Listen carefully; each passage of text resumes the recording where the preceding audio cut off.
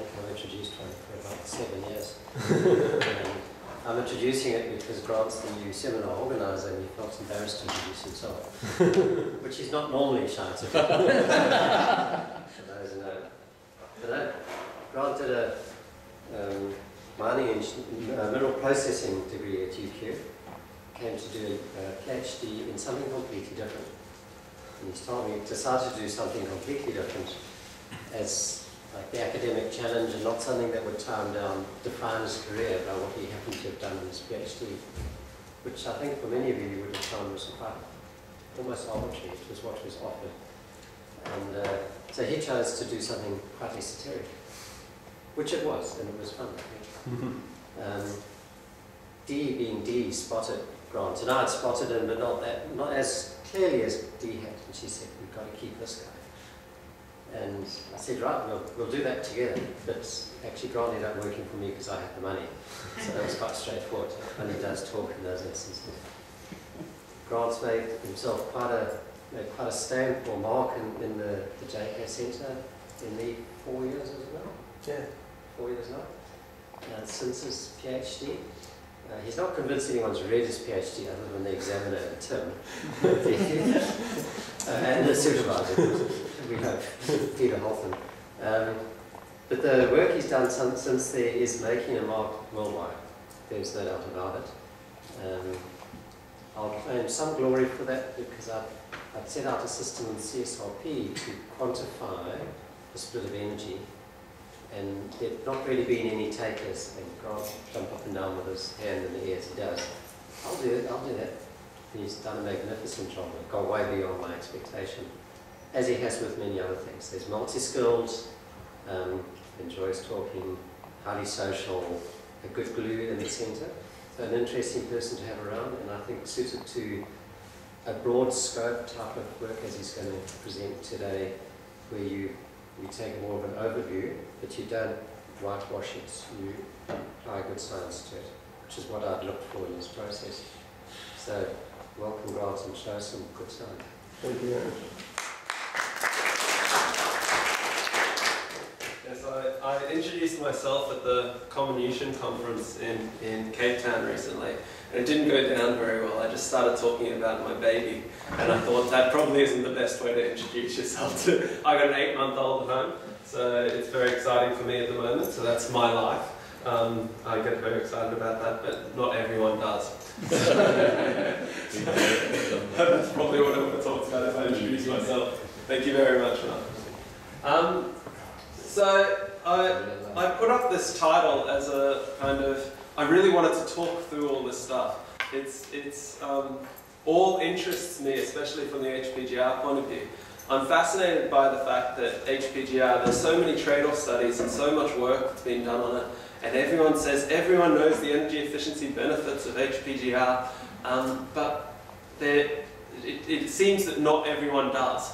And I've, I've, been kind of wondering why that is the case, whether it's the science isn't in, or whether there's other aspects to it. Um, and when I start digging deeper into each one of these different things, I find that there's a myriad of different um, points of view and, and different opinions about it. So I'm going to kind of go through some of them. Um, obviously, one thing that Marco said yesterday, are you going to cover all of that? It seems like it's over an hour that you need to, to discuss all of that. And I, am not going to discuss all of it in detail. I'm probably going to focus on the top two.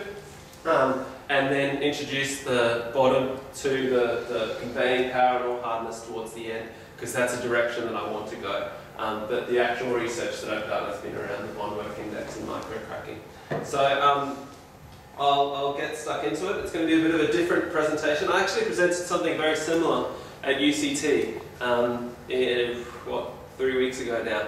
And what was interesting is I had about 55 slides um, for an hour presentation because I was excited about all this technical detail. And the night before, I I met with someone and I, I talked with an artist and there was all this stuff going on. And I realized I did not need 55, present, 55 slides to present this. So that night, um, until about 2 a.m., I, I cut down my slides to half, um, or more than half. And so, so the beginning of this is, is, is what was presented there. So originally I had, um, I, I like starting off my presentations with a context slide. And originally I had this complex content, context slide where I look at the industry context and I look at the cash costs and the price um, that is spent to get that material out of the ground and the mining productivity and the interplay between different metals. And it's a really interesting discussion and I, and I left everyone saying, well, we either retrench or innovate to be able to get out of the hole that we're in. But, I mean, that's not why I'm doing the work. That's not why I'm, I, I, I think that this is so important. Um, it's partially why, but um, it's only a, a only a, a, partial of it. This is why I'm doing a lot of work at the moment. I, I, may have been I may have been motivated motivated by that in past years, but now I'm motivated by this. Um, this is my little girl. Um, she's in front of the Grand Canyon in the background now. It's pretty obvious that she's she's sitting on the edge of the Grand Canyon. She doesn't care about the Grand Canyon at all. We took her there and, and thought that she, she'd enjoy traveling around. What she actually is smiling about is those pieces of alfoil in front of her. she loved these pieces of alfoil at the, at the Grand Canyon. And it got me thinking about the future, as babies do, um, the future of the world, the future of economies and stuff like that. And the fact that she was playing with the alfoil was really poignant to me in the mining industry. And I started thinking about the, the future of metals and, and how people fit in with that. And another thing that, that um, got me was, this is actually a photo um, by my cousin, uh, Tom Pierce. Um, he's in South Africa. He's gotten quite a lot of um, recognition for the, this, this photo series that he did. And the reason there's only two people in this photo is because um, the father had died. The father was, was killed by the mining industry. The father died from, um, from silicosis in South Africa. Um, and it got me starting to think, what, what, what is the impact of the mining industry on people, um, both as a negative point of view, from a safety, from an um, environmental, from a social point of view, um, and also from a positive point of view, with cars and with buildings and with everything um, that is around you at the moment. What would you look like if you weren't wearing anything that was, was influenced by mining? Even, even agriculture requires ammonium nitrate to, to be able to um, plant the thing. So uh, what, what, what this also said is that um, the role that art has um, in research. I think there's a really good um, position for art in, in research, in, in describing these complex problems in an emotive, beautiful way that brings out different feelings that you wouldn't necessarily get from a highly technical presentation that I'm about to give. So I just thought I'd start with that, um, and, and before I moved into the technical stuff, um, just to give a bit of a, a flavour of, of um, where my motivation comes from nowadays. So um, now getting into the more technical stuff, um, one thing I've been working on recently, and this is just the background of how I got into HPGRs, one thing I've been working on recently is these energy curves. And Malcolm um, kind of hinted on this, that, that this is my research, and I, have presented it at a Friday seminar before, so I'm not going to go into big detail. Um, but essentially, what it is, is um, an ability to be able to show the variability in comminution energy in a, um, in a way that, that can motivate energy reduction and energy efficiency increases. Um, so, so the idea is to present um, each mine as a bar. Um, in this, in this, this is a simplistic form, but each mine is a bar. The width of the bar representing the portion of um, annual production, and the height of the bar representing the energy intensity. So the same as a cost curve, but instead of the height of the bar um, representing the cost per ton um, of, of final product, it's, it's the kilowatt hours per ton, or um, uh, the kilowatt hours per ounce final product. Um, so that's, that's, that's how it looks. And, it, and it's come over a, a big period of time. Malcolm started the process. He, he kind of, and this is what I feel like for my whole career so far, it's been following behind Malcolm and picking up the crumbs that he hasn't had the time to, to, to look at. Um, and I've gotten really excited about. So, so this came from Malcolm saying, well, why don't we, there's, there's all these different figures around how much energy comminution uses on a mine site. So there's, there's all kinds of, anyone that's looked into it will know about the Department of Energy um, stuff. There's, there's, there's hundreds of different figures and everyone seems to, seems to quote a different amount of energy that's, um, that's used by comminution. So Malcolm said, well, we've got a whole lot of data. Why can't we do, like what South Africa does in um, the census, they, they count a number of people and then they extrapolate to the whole population because they can't actually get the whole population. So the idea was to get real detail on um, a proportion of the mines and then be able to extrapolate it to, to the whole mining industry. Now that worked to an extent, um, but what I realized was that presenting it as a percentage of the mine site's energy that's used in comminution was really um, incorrect because a large proportion of that energy is used by other processes, not comminution. So actually, the proportion of comminution energy on a mine isn't necessarily due to um, a large amount of energy being used in the comminution process, but either less energy in that other 60% um, or so. So what I found was that we, we could do it, um, but the, the answer was something around 36%, um, and there was 36% of a mine site's energy was used in comminution, but there was a large variance across the, the database. So I kind of went, well, how can I display that variance in a, in a useful form without um, giving away what each one of the mines are? And that's where this energy curve process came from. And then um, CEEC picked it up, um, the Coalition for Eco-Efficient Comminution, um, and we, we've really had a really good adventure over the past two years on, on trying to increase the database. The database of, for, for the energy curves now includes 56% of the world's copper, 26% um, of the world's gold, um, and a large proportion of the lead, zinc, silver, platinum, iron ore, um, and it's continually growing. So um, quite, a, quite a large database, um, quite good, good data, so um, I'm, I'm quite proud of that, and there's a lot of people in the industry that are getting excited about it and, and coming alongside and contributing their own data to, to be able to further this. So that's just the background.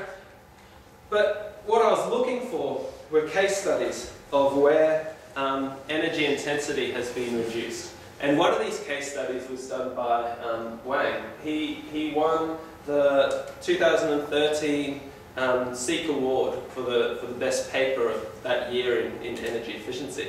And what, what he looked into was um, replacing, it was a, it was a trade-off study between um, SABC and HPGR, but it wasn't an ordinary trade-off study.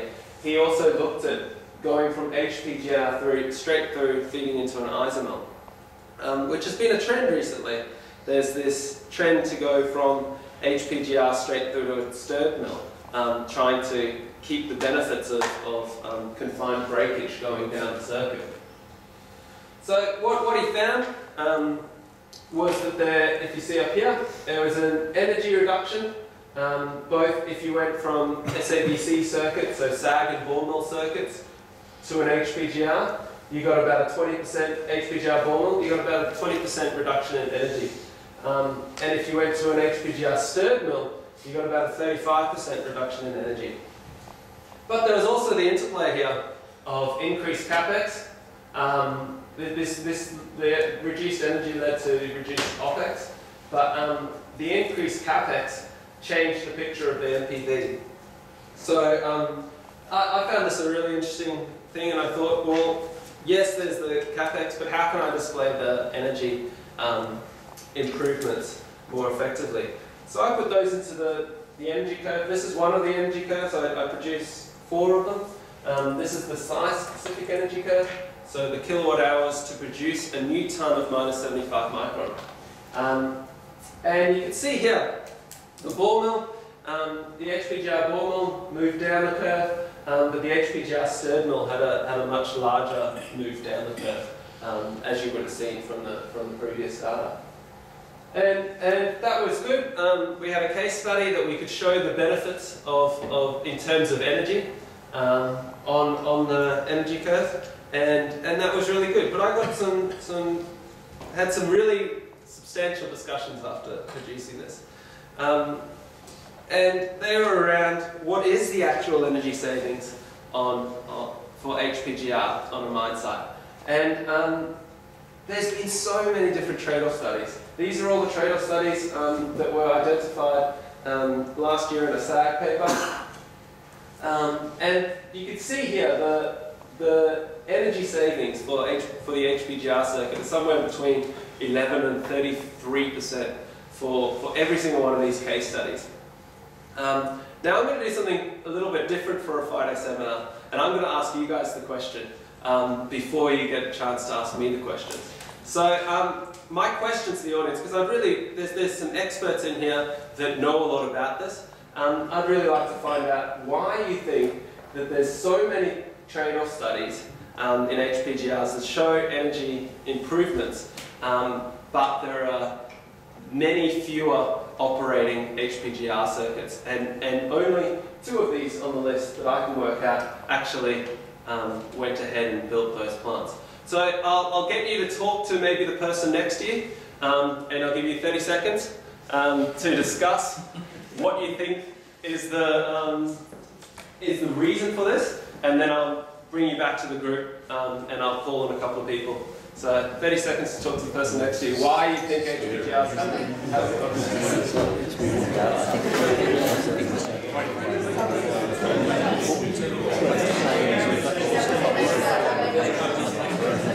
such a such a cheap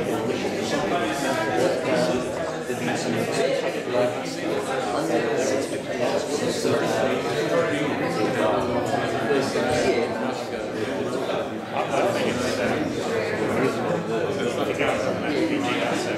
Okay,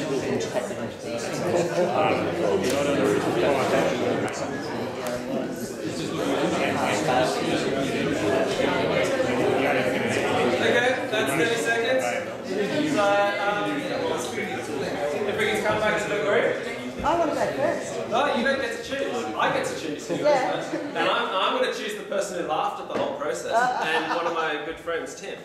Um, what did you come up with as the, the reason that HPGRs haven't been, haven't been implemented, or one of the reasons, from your point of view? Um, so you're asking for my opinion? yes.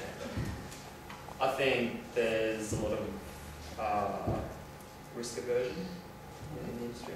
Um, people are probably a little bit apprehensive about um, taking on smart technology because there probably haven't been that many, uh, that, that, that has been that much experience um, with yeah. jars and in hard rock applications, which then leads to further risk aversion. um, also, I think there's also um, other considerations which need to be taken into account. The power consumption, um, things like the maintenance costs, um, how difficult it is to operate not just HPGR but often crushing circuits receive HPGR, um, which don't get really summed up in, in energy savings. Beautiful. So those are a couple of really good points. I think the first one's really important to, to, to sit on for a little bit because um, the risk aversion of the, of the industry is something that everyone talks about. And I think they've got a reason to, to be risk averse as well. Um, when, they're, when they're getting these deposits and they're getting, they're sampling something like 0.001% of the deposit and working out how much gold is in the ground or copper is in the ground. Um, they've got a reason to be risk averse. There's a lot of other risks involved in mining. So very, very true. Um, and, and I've seen some stuff recently on what the actual risks are with an HPGR, um, around clay content, around dust suppression, around um, the dynamics in the circuit, which was something you were talking about around a, a crushing, a crushing circuit. Um, oh, Craig, did you have any? You, you have a few good things. Well, I think it's a lot, you know, we talk about risk aversion, it also goes into the engineering companies who end up taking, you know, the, the, the or do the advising in a lot of cases. I noticed that a few of those have actually got engineering company representatives. It'd be interesting to see what their recommendation after those energy savings was. But the Cerro Verde one, I'm not sure who was involved in that, but that went ahead didn't it, as, as Yeah. HPGR. So, and that was back in 2006. So you'd think there'd be a lot of experience there that engineering companies would be wanting to get hold of to say whether this is a good idea to their clients or not, but it hasn't happened. Yeah, it's good. Any other? Oh, I mean, you put up your hand. You wanted. To No, no, no, no. Any any other any other points? I think that you're trying to replace what's a very simple and elegant solution at SABC with something that's a lot more complex and that's going to link back to being scared and afraid of moving to something that, you know, if, you, if you're installing a lot of conveyors to a metallurgist who's used to moving fluids around, that's going to be scary.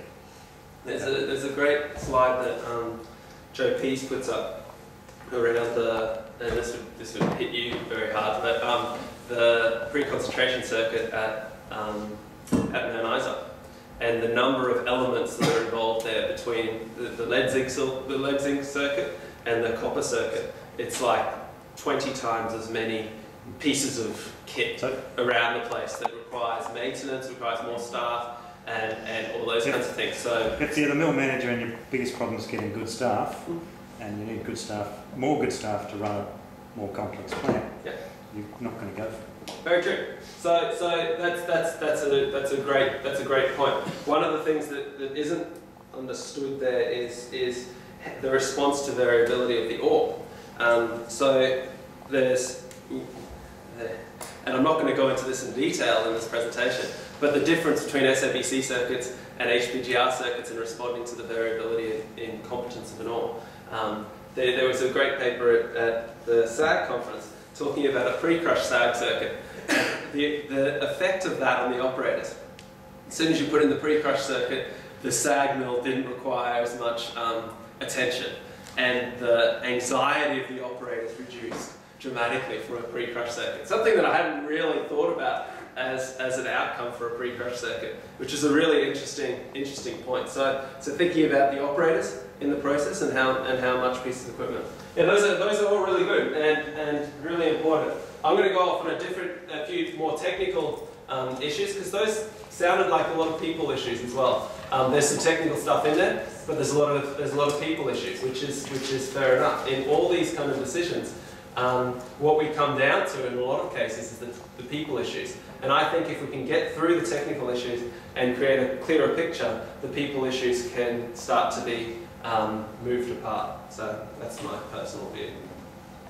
So I was interested in this. Um, so I looked at a case study and I had some contact with Anglo Gold Ashanti um, and some funding from CEEC. So I decided to combine the two and spend a bit of time looking at, at the case study of Tropicana Gold Mine and Gramalote Gold Mine. Because really interesting, one company, they both did trade-off studies between HPGR and SAG milling.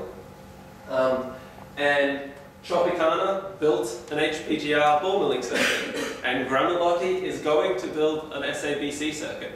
Um, and I, I was fascinated by that because I wanted to know within one company um, what what the what the um, realities were there. Is it a different ore type? Is it is it is it a different region? Is it different people making the decisions? Um, and actually, what was interesting was that yes, it, it was probably a little bit of, of those, but there was there was a, another issue altogether that came into it. Um, but once again, it comes back to people issues, which is which is interesting. So if we look at uh, look at trade-offs, I've, I've talked a little bit about this. I'm way behind schedule because I've been talking too much. Sorry about that. Um, so we've got HPGR circuit. So this is the standard HPGR circuit with second, secondary crushing um, and, a, and a ball mill. And when you look at Tropicana, this is the um, feasibility study that was done at Tropicana, um, looking at the amount of conveying power, everything. Um, would, would take about 22.5 kilowatt hours per tonne to, to go with an HPGR ball milling circuit. The SABC circuit, um, once again, standard SABC circuit with a recycle crusher. Um, these are the, the kind of powers that were required, um, specific power for, for that circuit, about 30 kilowatt hours per tonne. Um, and the, the, they also did a trade-off on, on a three-stage crush ball milling circuit. Um, and what was interesting there is that it came out um, effectively in between. Even though crushing used less power, um, it pushed more power through to the ball mill. because it had a sharper size distribution. Um, so yeah, interesting, interesting study. Um, and they did this for Gramalote and, and Tropicana. So looking on specific energy, using, using the energy curve, you can see the difference here between the SABC circuit, the crushing circuit, and the HPGR circuit. So um, that was that was Tropicana, and Gramalote had a similar distribution. Once again, HPGR was was um, improved over over SABC, and to a similar extent, if not even more. Um, the reason that the Gramalote is further down the, the curve is because it's to a coarser grind size, um, which is which is important to know. But essentially what this says is that, that ore-type doesn't seem to be changing the benefits or, or, or, or what of, um, of HPGR over SABC. So it wasn't the ore-type that was, that was causing this. So what, what I found interesting was that it, you, can, you can present this on a kilowatt hours per tonne basis, or you can present this on a dollars per tonne um, of, of comminution energy dollars per tonne. Um, and the, the graph looks very different. When you take each one of those mines and you put in the actual electricity costs of those mines, there's a distribution internationally. Um, even domestically, there's, there's a distribution of energy costs paid by different, different companies. Um, and so the, the variability across this becomes much greater. There's a bigger difference between right at the top and right down the bottom um, than there was in the kilowatt hour per tonne basis. And if you put Tropicana on there, you can see um, Tropicana still sat, it sits at a similar position as it did. So this is the HPGR SABC crushing. But when you put Gramalote on there, um, you see the benefit of, of um, the, the kilowatt hour per tonne reduction disappears, absolutely disappears because Gramalote is paying one third the amount for their energy um, than, than Tropicana.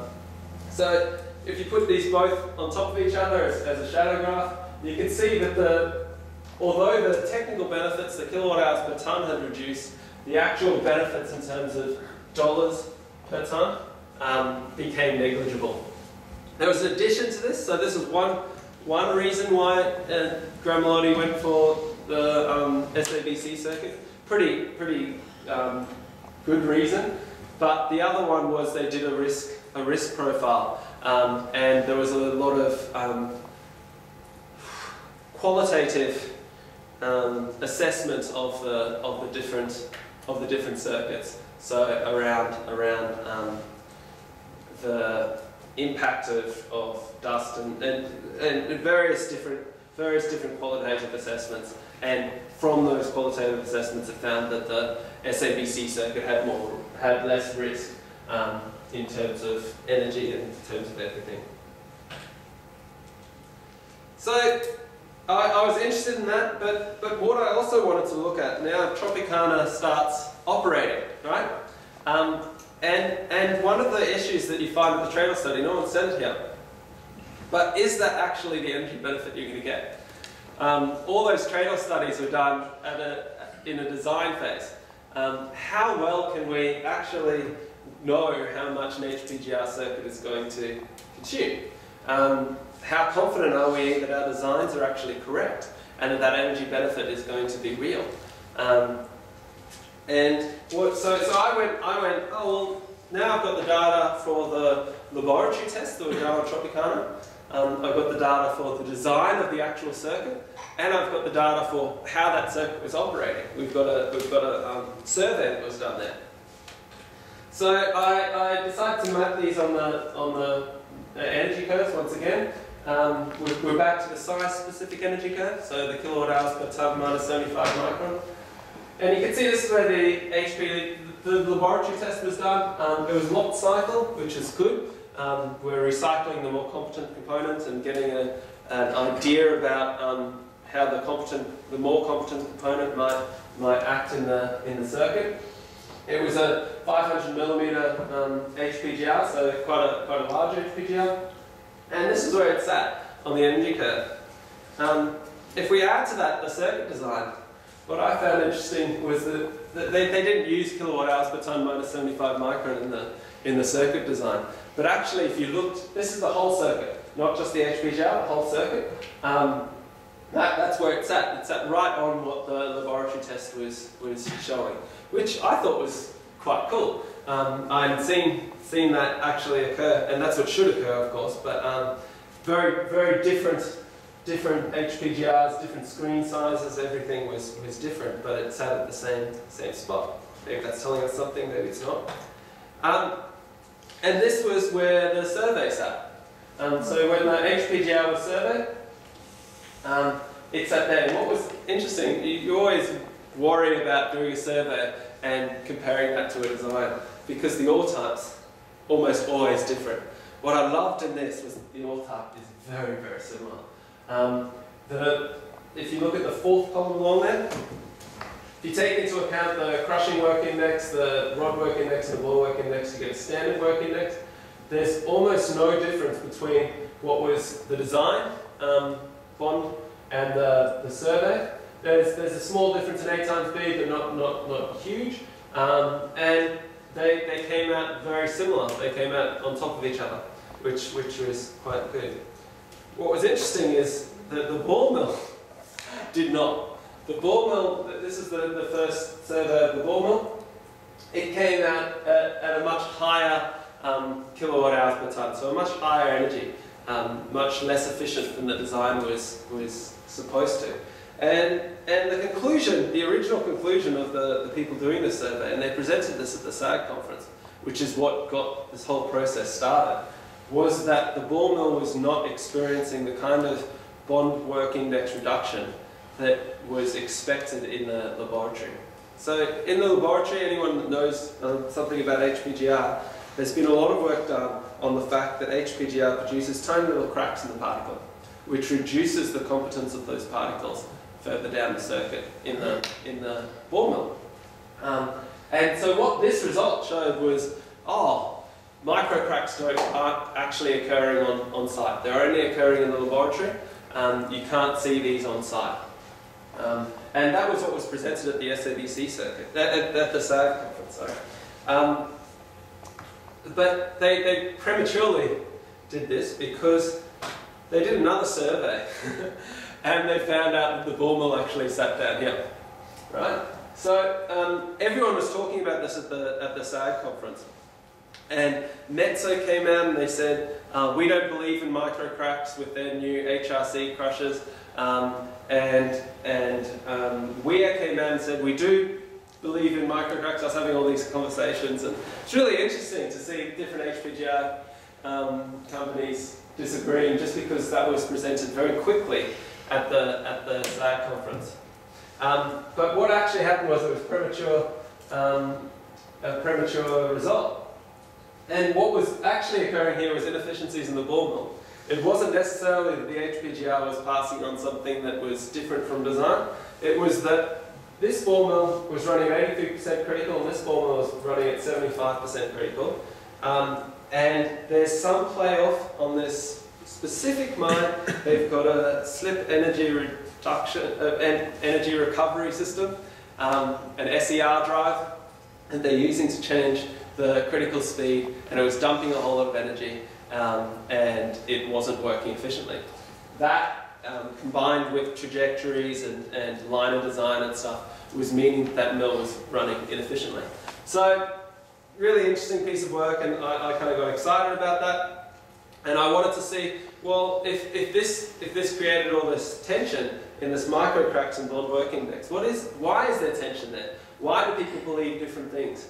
Um, so that's where, oh, so this is the improvement that was achieved just changing the um, speed. It still has to be validated, there's some issues around the actual um, surveys, but uh, anyway.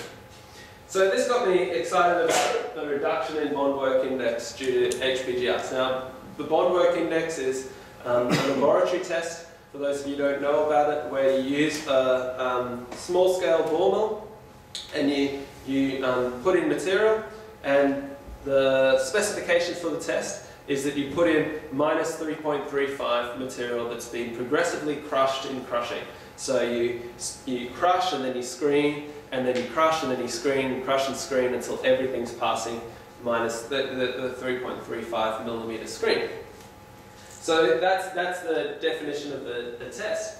The problem is, when you, when you come to an HPGR, is that there's this playoff um, and there's this confusion around whether lots of people are seeing this reduction in bond work index when you put the material through from the HPGR. Is that due to these small cracks, these micro cracks in the actual particle that are generated from the compression breakage? Or is that due to a different size distribution? Because what happens is if you've got staged crush, which is minus 3.35, this is the size distribution you get. Much sharper size distribution. Um, whereas if you put an HPGR and you do closed cycle, lock cycle tests on an HPGR over a 3.35 millimeter screen, that's the size distribution that you get for the same ore. Um, and with this increased fines comes a reduction in, in the bond work index um, that isn't fully um, tied up in the, in the calculations that are, that are done for, for bond. So, as far as I can tell, there are four methods to mitigate this. Um, there are, you can, you can either reconstitute the, the feed size distribution from the HPGR, so screen it and then put little components um, back together to get the crush size distribution. So get the exact same size distribution, force that size, the HPGR size distribution to be the same as the crush. And I found out that's what Weir does. Um, and, and that's, that's interesting. Um, Köppern, however, do a laboratory, a, a, larger scale ball milling test, and they, they look at the rates in the ball mill, um, and they account for it in that way um, by taking out the fines. I, I read another paper actually just yesterday that um, used, used simulation, so um, used population balance modelling to be able to account for the, the change in size distribution. And they saw that the, the reduction in bond work index due to the different size distribution was about 14, 15%. Um, and the fourth method I'm going to talk about today is by using that kilowatt hours per tonne minus 75 micron that I, that I suggested. So then we can account for the amount of fines that are in the feed um, and the amount of fines that we get in the, in the product.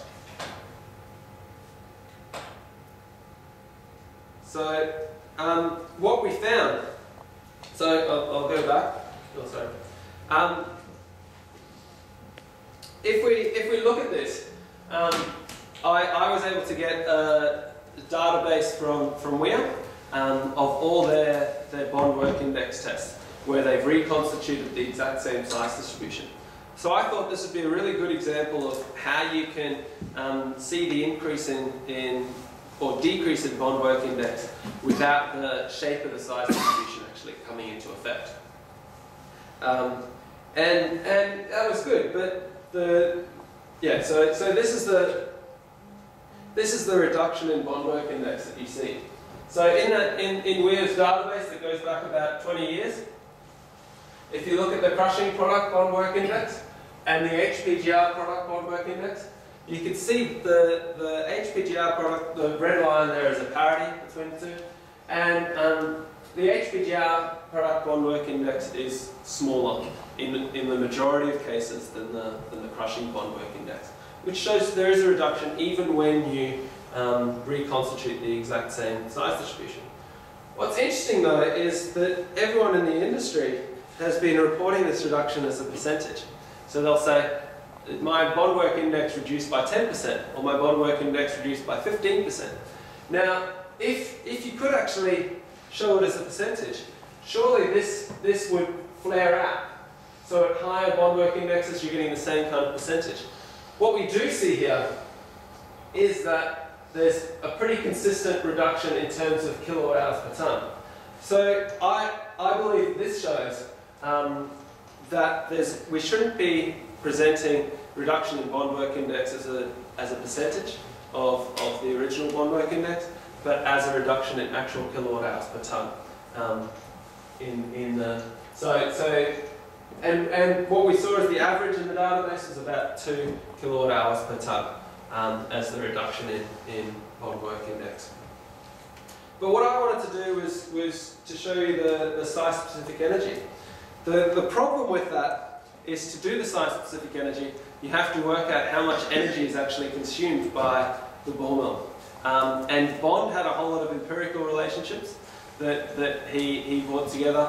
Um, and so I went through all them and used the Levin technique, anyone who knows about it. Um, and what I found out was that the Bond test actually the, the calculations that Bond put together, and I'm very well to, I, I could share this with anyone in the room um, after this, but I didn't put it in the presentation. It's a bit complex. But essentially, what Bond's calculation does is it says that the relationship between the, the, the lab scale mill and his pilot scale mill, um, the energy efficiency of the lab scale mill reduces dramatically at high bond work index. So at higher, at harder ores, your um, energy consumption of the laboratory mill is effectively much larger than the, than the pilot mill. Um, whereas at low bond work index, um, they're almost on a, on a parity, which, which, I found, which I found fascinating. Um, and I think it goes back to what, what Malcolm's been saying about the, the bond mill and its effectiveness for, for high competence. Because it's such a small mill, um, it's not able to, to capture, uh, to break those, those, more, those more harder component, uh, harder ores um, effectively. But if we, if we take that to the side, um, we now know the kilowatts of the, of the, um, the bond mill and we can work out the site-specific energy. What was interesting um, is that I got the same result, which, which I like um, because the, the feed size distribution, the, the reason I got the same results um, in terms of site-specific energy was that the feed size distribution was reconstituted. So in this case, the feed actually was the same for the HPGR and the, and the bond. Um, the next step in this is to get some data from, from other companies, um, other HPGR um, companies that have, that have different um, that have different methodologies. They don't reconstitute the, the size distribution. Now, what Craig has just shown me is that there's different scale. Yes, there is different scale. Um, the, the, the scale of this is a lot, a lot wider. Um, that is due to the fact that the bond work index, the kilowatt hours per tonne, is to reduce to a P80 of 100 micron, whereas um, here we're looking at the generation of 75 micron. Um, so that accounts for the difference in the, in the scale from going from a P80 of, of 100 micron um, to, to reduction to 75 micron.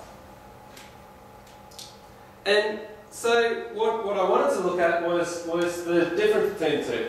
So if we look at the reduction in bond work index due to, uh, in bond work index and the reduction in site-specific energy, you can see there's a nice linear relationship.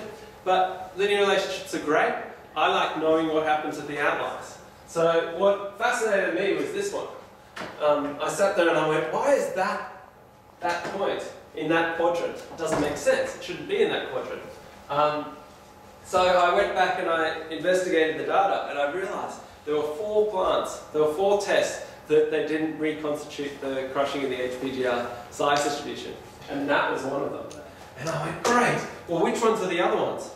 and here they are circled. so I was able to explain this, but the other one sat on the line. So I'm, I'm still trying to work out exactly what's going on here, um, and that kind of ruined my hypothesis. Maybe there's another line here you could, uh, you could argue, but I'm, I'm unsure. So I, I, need more data to be able to look into this, and that's what I'm, I'm going to do in the next, next little while. And this is just for your information, this is the reduction in in bond work index um, that you can see for due to HPGR. So this is the energy curve, the bond work index energy curve. And the crushing um, sits around 50%, which you'd expect because it, the rest of the bond work index are all done with crushing it. Um, and if you move to an HPGR, you should move down to about the 20th percentile in, um, on average, you'd move down to about 30 percentile points um, on the curve. So, I said that I would talk not just about um, bond work index, but about other things as well. I'm running out of time, so I'm going to have to go through these quickly. Fortunately, I took too much time at the beginning. But conveying power is one that has always interested me. Um, since, since Marco went to a couple of different sites and calculated the conveying power, Macculloch and Cadia, um, there's the top two there, um, and found that the conveying power actually um, equated to the approximately to the HPGR power. So essentially, you had to double the HPGR power um, to get actually what happens when you have an HPGR circuit.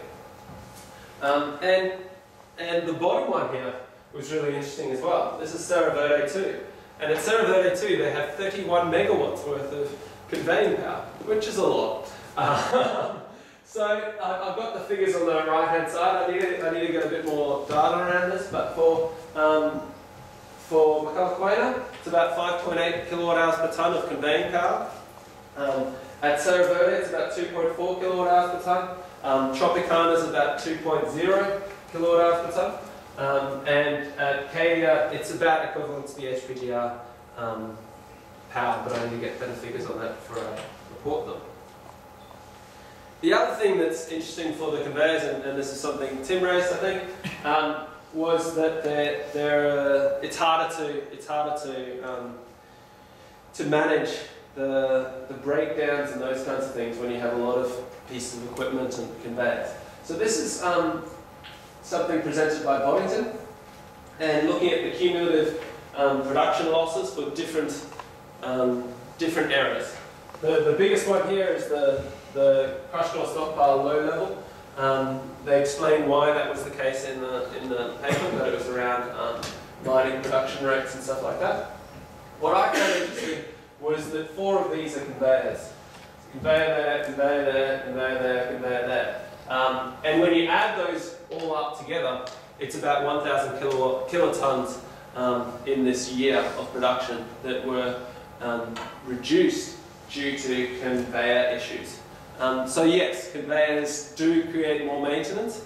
Um, there's belts that, that break, there's um, idlers that need to be replaced, there's all kinds of issues that need to be dug off if they go over their, power. Um, so interesting. Um, let's see if we can we can overcome that. The other thing that's interesting with HPGRs, and we didn't, no one, no one mentioned this, but was, was stockpile position. It's something that I found fascinating when I went out to Tropicana, um, which is the next slide, I should have put it first. But at Tropicana, they have one stockpile. Um, they go straight from the stockpile in front of their, or after their primary crusher, um, and then they have no stockpiles between the secondary crushers, the HPGRs, and the ball mills, which is quite different. Um, you, you, have to deal with it in, in terms of deferred stockpiles. So they, they kind of, or offline stockpiles, they kind of feed material off um, at different points in time and create different stockpiles off to the side. But it dramatically reduces your capex for, for the mine um, when, you, when you reduce the amount of stockpiles. Um, normally, on a, on a um, HPGR circuit, and I say normally, there aren't that many, but um, the Boddingtons and the, and the um, and the Cerro Verdes of the world have a stockpile after the primary crusher, after the secondary crusher, and after the, the HPGR. So they stockpiles all large bins. Um, they have they have a lot of storage around that circuit. This is an interesting paper um, done by Glacier Rosario. Um, he presented it at the SAG conference and at the Comminution conference recently. And what he said is that we can dramatically reduce the capex of these circuits if we move the stockpile to after the secondary crusher. There are some there are some trade-offs here. You've got to produce you've got to um, size a bigger secondary crusher, um, and you've got to be able to account for um, uh, lower availability. But um, the, the trade-off there when you put in the stockpile in this position is, is dramatic, which is, which is pretty good. He, he was able to get the same capex as a SABC circuit, which, which, is, which is interesting. Then you, then you get on a similar playing field, and then energy has a, has a bigger effect. And this is um, the only picture I, I could find. I went to Tropicana, but I didn't take very good pictures. Just had a GoPro. Um, it's not very good at taking pictures on site. Um, but this is sitting above the secondary crushers here, and you can see after the secondary crushers, this is the secondary crusher belt, that's the HPGRs over there, um, that's a transfer point, the HPGR screens are over here, um, that's the oversize coming back. There's no stockpiles there. Um, they're, all, they're all linked, um, they're, they're, but there is an ability to take off the stockpile offline over here, and there's an ability to take off a stockpile up in that top corner. Um, so they've got kind of offline stockpiles, which is a really interesting design philosophy I thought. Um, and the final thing I'll, I'll just briefly gloss over is um, the effect of ore competence. Aidan Giblett um, has been banging on about this for a while now. It, when, when we present HPGR um, trade-offs and, and those kinds of things, we need to take into account ore competence. And the reason for that is quite obvious at the top here. Um, this is a paper done by Anna Luxon um, that showed when you have soft ore, the actual benefit of HPGRs is nothing. It's negative. Um, NPV, in terms of NPV, a medium ore was also negative, but slightly less. Um, the NPV only became positive um, with, with the hard ore. So HPGRs, when you, when you trade off, um, HPGRs can potentially only become positive with more competent ores. Um, and that's because your SAG kilowatt per ton increases dramatically at, at um, less competent, at more competent ores on the left-hand side here. And you can see um, here is here is Boddington, and the reason they claim that they went with HPGRs and HPGRs were effective for them was because they were highly competent ore, and and the SAG power goes goes up quite dramatically. So there's some next steps of the energy curve. I'm going to not go through them because I don't have time, but I thought I'd acknowledge all the all the people that have helped, and I'll put another picture of my baby up there. But um, and invite any questions um, from the audience.